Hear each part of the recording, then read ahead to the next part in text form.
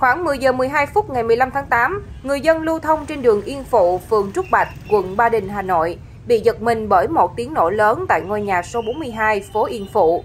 Vụ nổ khiến toàn bộ mặt tiền số nhà biến dạng, đường dây điện chạy qua cũng trũng xuống, cây cối xung quanh gãy cành nằm la liệt chắn ngang đường. Nhiều xe máy ngã trên đường và trên hè phố Yên Phụ. Một số người lưu thông trên đường bị sức ép từ vụ nổ gây thương tích. Ít nhất 4 người bị thương đã được đưa đi cấp cứu tại bệnh viện Sanbon.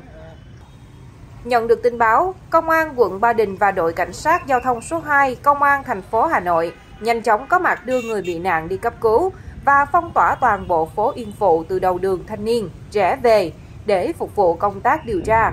Nguyên nhân ban đầu xác định vụ việc xuất phát từ nổ bình ga sinh hoạt